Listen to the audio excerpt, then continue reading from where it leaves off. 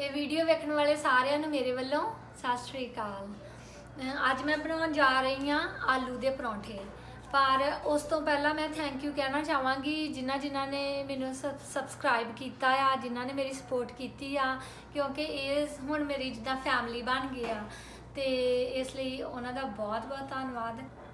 ਇਹ ਜਿਹੜੇ ਆਲੂ ਦੇ ਪਰੌਂਠੇ ਮੈਂ ਬਣਾਉਣੇ ਹੈਗੇ ਆ, ਇਹ ਮੈਂ ਤਲ ਕੇ ਵੀ ਬਣਾਵਾਂਗੀ। ਤੇ ਸੁੱਕੇ ਵੀ ਬਣਾਵਾਂਗੀ ਕਿਉਂਕਿ ਮੇਰੇ ਜਿਹੜੇ ਹਸਬੰਡ ਆ, ਉਹ ਸੁੱਕੇ ਪਰੌਂਠੇ ਲਾਈਕ ਕਰਦੇ ਆ। ਪਰ ਜਿਹੜੇ ਮੇਰੇ ਬਾਕੀ ਫੈਮਿਲੀ ਮੈਂਬਰਸ ਆ, ਉਹ ਤਲ ਕੇ ਖਾਣਾ ਪਸੰਦ ਕਰਦੇ ਆ। ਇਸ ਲਈ ਮੈਂ ਆਲੂ ਉਬਾਲ ਲਏ ਆ। ਪਿਆਜ਼ ਜਿਹੜੇ ਇਹ ਚੌਪ ਕਰ ਲਏ ਹੋਏ ਆ, ਧਨੀਆ, ਅਦਰਕ, ਹਰੀ ਮਿਰਚ। ਇਸ ਨੂੰ ਅਸੀਂ ਮਿਕਸ ਕਰਾਂਗੇ ਤੇ ਇਹਦੇ ਵਿੱਚ ਅਸੀਂ ਜਿਹੜੇ ਮਸਾਲੇ ਐਡ ਕਰਨੇ ਆ, ਉਹ ਆਪਣੇ ਸਵਾਦ ਦੇ ਮੁਤਾਬਕ ਕਰਨੇ ਹੈਗੇ ਆ। ਤੇ ਨਮਕ, ਮਸਾਲਾ ਜਵੈਨ ਥੋੜੀ ਜੀ ਕਾਲੀ ਮਿਰਚ, ਸੁੱਕੀ ਮੇਥੀ। ਹੁਣ ਅਸੀਂ ਇਹਨੂੰ ਮਿਕਸ ਕਰਾਂਗੇ। ਇਹ ਥਾਲੀ ਜਿਹੜੀ ਆ, ਉਹ ਮੈਂ ਇੰਡੀਆ ਤੋਂ ਲੈ ਕੇ ਆਈ ਆ। ਕਿਉਂਕਿ ਕੁਝ ਜਿਵੇਂ ਮੈਨੂੰ ਭਾਂਡੇ ਜਿਹੜੇ ਆ ਉਹ ਪਸੰਦ ਆ ਸਟੀਲ ਦੇ ਜਾਂ ਇਦਾਂ ਜਿਵੇਂ ਆਲੂ ਮੈਸ਼ ਕਰਨੇ ਹੋਣ ਤੇ ਮੈਂ ਹਮੇਸ਼ਾ ਸਟੀਲ ਦੀ ਥਾਲੀ ਵਰਤਦੀ ਆ ਤੇ ਕਿਉਂਕਿ ਹਰ ਇੱਕ ਦਾ ਆਪਣਾ ਆਪਣਾ ਤਰੀਕਾ ਹੁੰਦਾ ਆ। ਸਮੈਲ ਬਹੁਤ ਵਧੀਆ ਆਉਂਦੀ ਹਾਂ। ਉਹ ਹਰੇ ਧਨੀਏ ਦੀ ਸਾਡੇ ਕੋਲ ਹਰਾ ਧਨੀਆ ਜ਼ਿਆਦਾ ਨਹੀਂ ਹੈਗਾ ਸੀ। ਨਹੀਂ ਤੇ ਮੈਂ ਜ਼ਿਆਦਾ ਪਾਉਣਾ ਪਸੰਦ ਕਰਦੀ ਹਾਂ ਹੁਣ ਜਿੰਨਾ ਹੈਗਾ ਸੀ ਉਹਨਾਂ ਮੈਂ ਪਾ ਲਿਆ।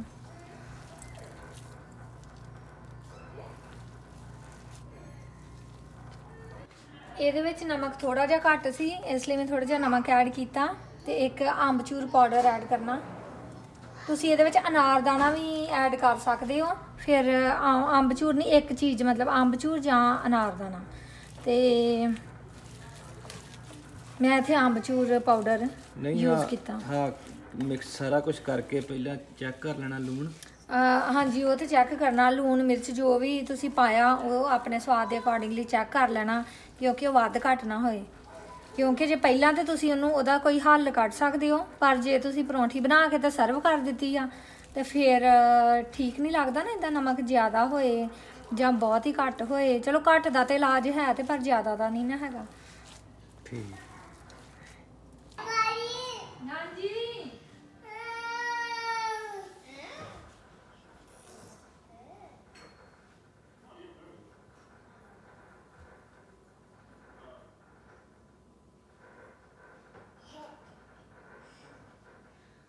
Mama, sorry, Mama. ਕੀ ਹੋ ਤੂੰ Very good. ਹੈ ਕਾਹਦੇ ਲਈ ਸੌਰੀ ਤੇਰਾ ਰਿਮੋਟ ਲੈ ਲਿਆ ਹੀ ਉਹਨੇ ਕਿੰਨੇ ਓਏ ਛੋਟੇ ਭਰਾ ਨੇ Mama, sorry, ਮੇਰੀ ਉਂਗਲ ਵੱਡੀ ਗਈ ਹੁੰਦਾ। ਓਏ ਕਿਦਾਂ ਵੱਡੀ ਗਈ। ਮੈਂ ਅੰਦਰ ਛਿੱਲਣ ਡਿਆ। ਅੱਛਾ ਲੰਡਾ ਵੱਡੀ ਗਈ ਇੱਥੇ ਦੀ ਡਰਾ ਹੀ ਦਿੱਤਾ ਖੋਤੇ ਜਿਹੇ ਨੇ ਏਦਾਂ ਮੈਂ ਏਦਾਂ ਮੈਂ ਏਦਾਂ- Mama, ਮੈਂ ਏਦਾਂ ਕਰਨ ਡਿਆ, ਇਹ ਉਂਗਲ- ਇਹ ਉਂਗਲ ਦਾ ਮਾਸਕ ਲੱਥ ਗਿਆ। ਮਾਸਕ ਮਾਸਕ ਮਾਸਕ ਨੂੰ ਕਹਿੰਦੇ ਆ ਜਾ ਉੱਪਰ ਵਾ ਪਰੌਂਠੇ ਬਾਂਡੇ ਆਲੂ ਵਾਲੇ ਇਹ ਖਤੇ ਲਈ ਮੈਂ ਮੈਨੂੰ ਨਹੀਂ ਭੁੱਖ ਲੱਗੀ ਤੈਨੂੰ ਤਾਂ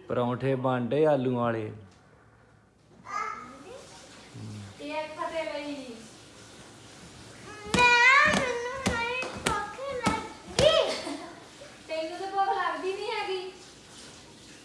ਧੱਕੇ ਨਾ ਜਿੱਦਾਂ ਲੂਣ ਨਹੀਂ ਦੇਈਦਾ ਮੱਝਾਂ ਨੂੰ। ਲੱਗੀ ਹੁੰਦੀ ਇੱਥੇ। ਉਦਾਂ ਦੇਣਾ ਪੈਂਦਾ ਇਹਨੂੰ ਪਰੌਂਠਿਆਂ ਦਾ ਲੂਣ ਭੁੱਖ ਲੱਗੀ ਹੁੰਦੀ ਤੂੰ ਆ ਮੈਨੂੰ ਦੱਸ ਤੂੰ ਕਦੀ ਮੈਨੂੰ ਕਿਹਾ ਕਿ ਮੈਨੂੰ ਭੁੱਖ ਲੱਗੀ ਆ ਨਹੀਂ ਫੇਰ ਫੇਰ? ਮੈਨੂੰ ਨਹੀਂ ਕੋਈ ਭੁੱਖ ਲੱਗੀ ਆਈ ਉਹ ਭਾ ਕਿੱਥੇ ਚੱਲਿਆ ਵਾ? ਕਿੱਥੇ ਚੱਲਿਆ ਵਾ? ਮੈਂ ਮੋਟਰਸਾਈਕਲ ਤੇ ਚੱਲਿਆ ਫਰੂ ਲੈ ਕੇ। ਮੈਂ ਫਰੂ ਲੈ ਕੇ ਚੱਲਿਆ ਉਹ ਕਿੱਥੇ ਚੱਲਿਆ ਓਏ? ਏਕ ਜੀ ਕਿੱਥੇ ਚੱਲਿਆ ਵਾ?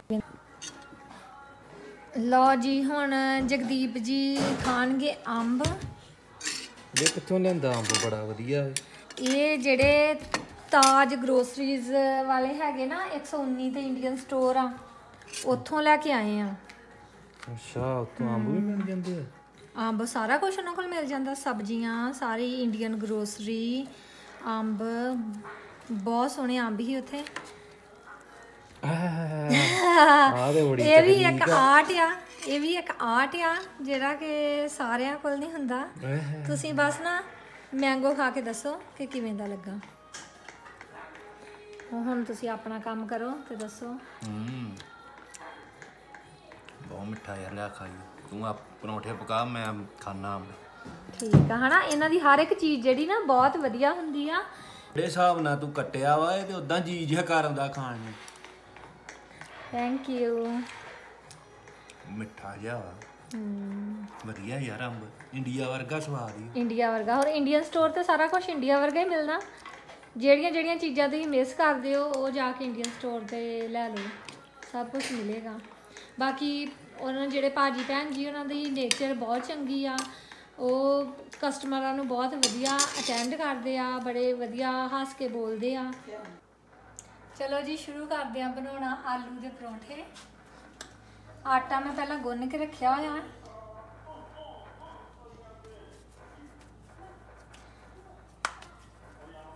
ਆਵਾਜ਼ ਜੀ ਤੇ ਆਉਂਦੀ ਜਿਹੜੇ ਨਾਮ ਜੇ ਮਰਦੇ ਕੜਾਚ ਕੜਾਕ ਨਹੀਂ ਇਹਦਾ ਇਦਾਂ ਹੀ ਹੈ ਕਿਉਂਕਿ ਇਹ ਤੇ ਸਿੰਪਲ ਆਟਾ ਹੈਗਾ ਆ।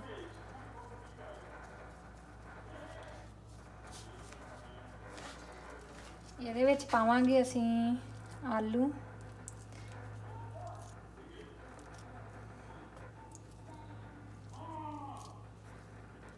ਜ਼ਿਆਦਾ ਨਹੀਂ ਪੜਤਾ ਨਾ, ਇਹ ਤੇ ਹਰ ਇੱਕ ਦੇ ਆਪਣੇ ਸਵਾਦ ਤੇ ਬਣਾਉਣ ਤੇ ਹੁੰਦਾ ਆ ਕਿ ਉਹਨੇ ਕਿੰਨੀ ਕੁ ਫੀਲਿੰਗ ਖਾਣੀ ਆ ਜਾਂ ਉਹ ਕਿੱਦਾਂ ਬਣਾਉਣਾ ਪਸੰਦ ਕਰਦੇ ਆ।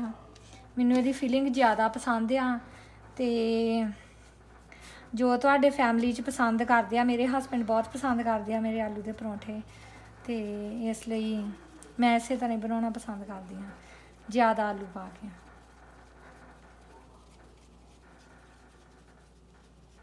ਪਹਿਲਾਂ ਕਿਹੜਾ ਬਣਾਉਣ ਲੱਗੀ ਸੁੱਕਾ ਕਿ ਪਹਿਲਾਂ ਸੁੱਕਾ ਬਣਾਵਾਂਗੀ ਸੁੱਕਾ ਬਣਾਵਾਂਗੀ ਕਿਉਂਕਿ ਜੇ ਤੁਸੀਂ ਤਵਾ ਰੱਖਿਆ ਆ ਤੇ ਪਹਿਲਾਂ ਸੁੱਕੇ ਬਣਾਓਗੇ ਤੇ ਉਹ ਤੁਹਾਡੇ ਲਈ ਠੀਕ ਆ ਕਿਉਂਕਿ ਜੇ ਤੁਸੀਂ ਪਹਿਲਾਂ ਤਲ ਕੇ ਬਣਾਉਣੇ ਸ਼ੁਰੂ ਕਰ ਦਿੱਤੇ ਤੇ ਤਵਾ ਜਿਹੜਾ ਧੂਆਂ ਛੱਡਦਾ ਹੈਗਾ ਕਿਉਂਕਿ ਉਹ ਆਇਲੀ ਜਿਹਾ ਹੋ ਜਾਂਦਾ। ਇਸ ਲਈ ਮੈਂ ਪ੍ਰੈਫਰ ਕਰਦੀ ਆ ਕਿ ਜਿਹਨੇ ਸੁੱਕੇ ਖਾਣੇ ਉਹ ਪਹਿਲਾਂ ਸੁੱਕੇ ਖਾਵੇ ਫਿਰ ਤਲ ਕੇ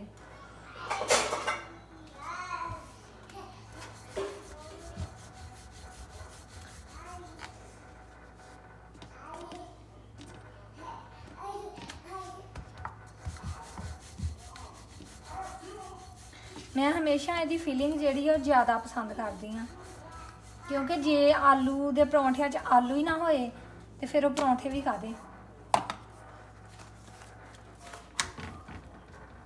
ਤੇ ਹਮੇਸ਼ਾ ਯਾਦ ਰੱਖਣਾ ਕਿ ਆਟਾ ਘੱਟ ਹੋਏ ਤੇ ਆਲੂ ਜ਼ਿਆਦਾ ਹੋਣ। ਤੇ ਜੇ ਜਿਹਦੇ ਘੱਟ ਆਟਾ ਤੇ ਜੇ ਬਾਹਰ ਨਿਕਲ ਜੇ ਇਹ ਤਕਨੀਕ ਚਾਹੀਦੀ ਹੈ ਨਾ। ਤਕਨੀਕ ਇਹ ਤੇ ਪ੍ਰੈਕਟਿਸ ਤੇ ਆ ਨਾ। ਵੇ ਤੇਰਾ ਨਿਕਲੇ ਨਹੀਂ ਆਲੂ ਬਾਹਰ। ਅਹ ਨਹੀਂ ਨਿਕਲਿਆ ਨਹੀਂ ਦੀ। ਆਟਾ ਵੀ ਘੱਟ ਆ, ਬਸ ਵਿੱਚ ਫੀਲਿੰਗ ਆ ਜ਼ਿਆਦਾ ਨਾ। ਇਹ ਬਣਾਉਣ ਵਾਲੇ ਤੇ ਆ ਕਿ ਕਿਵੇਂ, ਪਰ ਇਹ ਲਈ ਪ੍ਰੈਕਟਿਸ ਬਹੁਤ ਚਾਹੀਦੀ ਆ।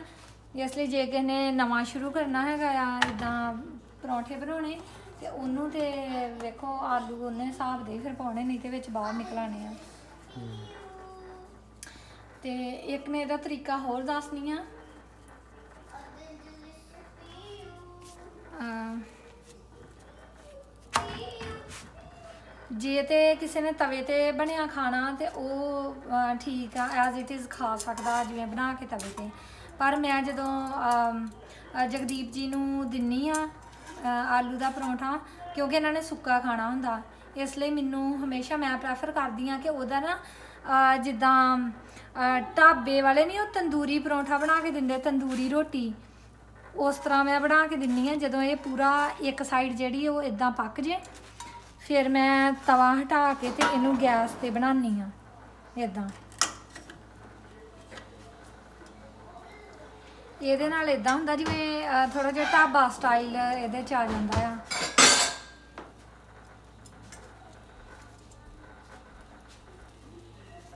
ਕਰੰਚੀ ਕਰੰਚੀ ਜਿਹਾ ਹੋ ਜਾਂਦਾ ਆ।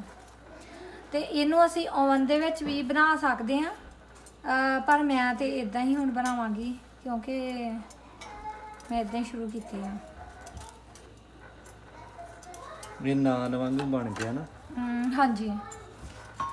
ਤੇ ਇਹ ਬਣ ਗਿਆ ਜੀ ਸਾਡਾ ਆਲੂ ਦਾ ਪਰੌਂਠਾ। ਇਹ ਅਸੀਂ ਲਿਆ ਜੀ ਮੱਖਣ। ਇਹ ਅਸੀਂ ਜਿਹੜਾ ਵਾਈਟ ਮੱਖਣ ਆ ਇਹ ਘਰ ਬਣਾਉਂਦੇ ਆ। ਇੰਡੀਆ 'ਚ ਤੇ ਈਜ਼ੀਲੀ ਹਰ ਇੱਕ ਘਰ ਦੇ ਵਿੱਚ ਅਵੇਲੇਬਲ ਹੁੰਦਾ ਆ। ਪਰ ਜੇ ਕੋਈ ਬਾਹਰ ਰਹਿੰਦਾ ਆ ਤੇ ਉਹਨੂੰ ਇਹਦੀ ਰੈਸਪੀ ਚਾਹੀਦੀ ਆ। ਕਿ ਵਾਈਟ ਮੱਖਣ ਜਿਹੜਾ ਘਰ 'ਚ ਕਿਵੇਂ ਬਣਾਉਣਾ ਆ।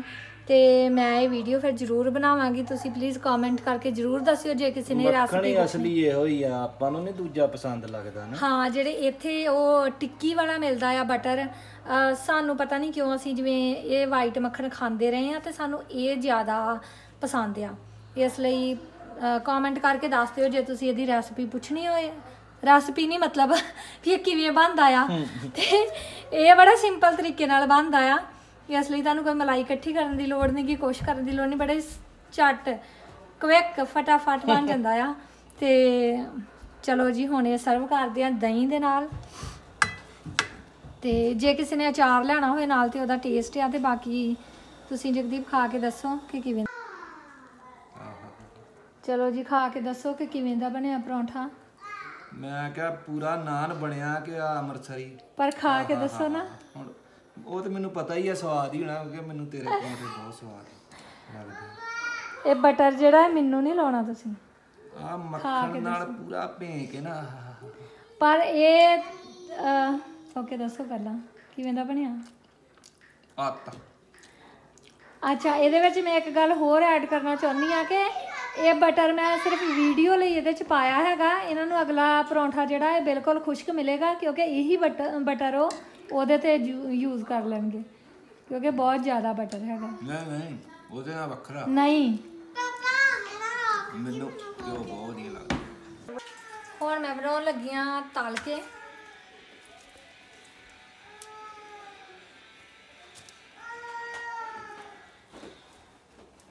ਹੁਣ ਇਹਦੇ ਲਈ ਅਸੀਂ ਨਾ ਇਹਦੇ ਵਿੱਚ ਤੇਲ ਪਾਇਆ। ਇਹ ਕਿਹੜਾ ਤੇਲ ਆ? ਇਹ ਕਨੋਲਾ ਆਇਲ ਆ ਤੇ ਇਹਨੂੰ ਮੈਂ ਪਾਇਆ ਇਹਦੇ ਵਿੱਚ। ਤੇ ਅਸੀਂ ਵੇਟ ਕਰਾਂਗੇ ਇਹਦੀ ਇੱਕ ਸਾਈਡ ਜਿਹੜੀ ਉਹ ਹਾਂ ਪੱਕਣ ਤੇ ਦੀ। ਤੇਲ ਵਾਲੀ ਕੁੱਪੀ ਨਹੀਂ ਜਿਹਨੇ ਤੇਲ ਪਾਈ ਦਾ? ਹਾਂਜੀ ਇਸੇ ਤਰ੍ਹਾਂ ਦੀ ਮਿਲਦੀ ਹੈ ਤੇਲ ਲਈ ਕਿਉਂਕਿ ਜਿਹਨੇ ਆਇਲੀ ਖਾਣਾ ਆ ਉਹਨੇ ਸਪਰੇਅ ਜਿੱਦਾਂ ਹੀ ਕਰ ਸਕਦੇ ਆ ਇਹਦੇ ਤੇ ਆਇਲ ਦੀ ਪਰ ਹੁੰਦਾ ਉਹਦੀ ਨਾ ਉਹ ਗੱਲ ਜੀ ਨਹੀਂ ਬਣਦੀ। ਪਰ ਜੇ ਕਿਸੇ ਨੇ ਜਿਵੇਂ ਪਰਹੇਜ਼ ਕਰਨਾ ਆ ਤੇਲ ਦਾ, ਤੇ ਉਹਦੇ ਲਈ ਬਹੁਤ ਵਧੀਆ ਹੈਗਾ, ਪਰ ਅਸੀਂ ਨਹੀਂ ਕਰਦੇ।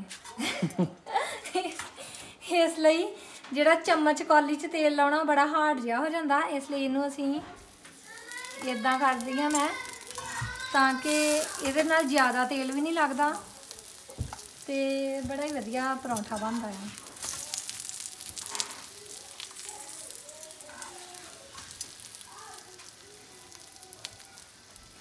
ਇਹ ਜਿਹਨੂੰ ਤਲ ਕੇ ਖਾਣਾ ਪਸੰਦ ਆ ਇਹ ਉਹਨਾਂ ਲਈ ਆ। ਬੜੀ ਛੇਤੀ ਤਿਆਰ ਹੋ ਗਿਆ। ਇਹ ਤੇ ਫਿਰ ਆਇਲੀ ਜੂ ਬਣਿਆ। ਜਿਹੜਾ ਸੁੱਕਾ ਪਰੌਂਠਾ ਉਹਨੂੰ ਥੋੜਾ ਜਿਹਾ ਟਾਈਮ ਲੱਗਦਾ ਆ।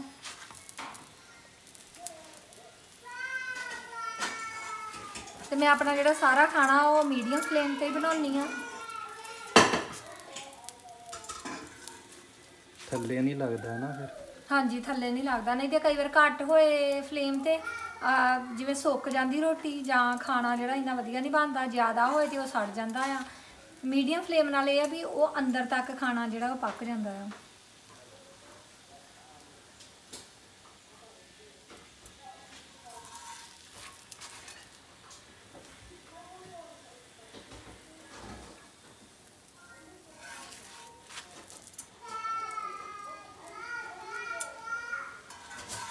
ਚਲੋ ਜੀ ਇਹ ਸਾਡਾ ਪਰੌਂਠਾ ਤਿਆਰ ਆ ਜੀ। ਬਹੁਤ ਵਧੀਆ। ਜੇ ਤੁਹਾਨੂੰ ਮੇਰੀ ਇਹ ਵੀਡੀਓ ਪਸੰਦ ਆਈ ਹੋਵੇ ਤਾਂ ਇਸ ਨੂੰ ਸ਼ੇਅਰ ਜ਼ਰੂਰ ਕਰਿਓ ਲਾਈਕ ਕਰਿਓ ਕਮੈਂਟ ਕਰਕੇ ਜ਼ਰੂਰ ਦੱਸਿਓ ਤੇ ਇਸ ਨੂੰ ਸਬਸਕ੍ਰਾਈਬ ਕਰਨਾ ਨਾ ਭੁੱਲਿਓ। Thank you